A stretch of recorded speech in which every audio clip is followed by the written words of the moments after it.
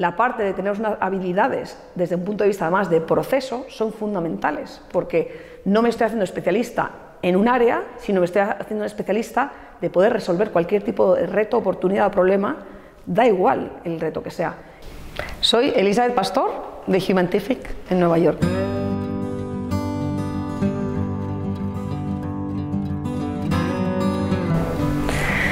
Bueno, para mí un facilitador del aprendizaje y de la innovación pienso que es la persona que está ayudando, facilitando, como dice su nombre, no, haciendo las cosas fáciles. Como decía antes, eh, cómo les ayudo a hacer sentido de esta complejidad y decir, bueno, si, si ahora entiendo la complejidad que hay, me es más fácil eh, generar mm, posibles vías de futuro de cambio. Nosotros lo llamamos sense making for change making eh, y, de alguna manera pues yo creo que es ese rol y creo que además que hoy en día el futuro es todo sobre la parte más humana y tenemos que ser mucho más ágiles y mucho más adaptables a aprender.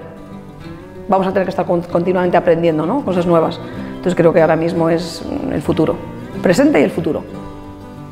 Una parte fundamental para mí de esto es saber diferenciar entre contenido y proceso y tener una, eso, saber qué, qué significa eso. Y el facilitador siempre tiene el, lo que digo, el sombrero del proceso y ayuda a personas que tienen mucho eh, contenido, mucho expertise ¿no? sobre un tema y, y, el facilitador siempre está desde el punto del proceso, no está diciéndole a los demás qué tiene que hacer, si tiene que hacer esto, si tiene que hacer otro, no, les ayuda a navegar esa complejidad y un proceso para que lleguen a un resultado y siempre guiándoles eh, teniendo en cuenta hacia dónde queremos ir y ayudándoles a sacar todo, toda esa riqueza que tienen cada uno ah, para ayudarles a, a innovar, ¿no? a crear nuevas habilidades.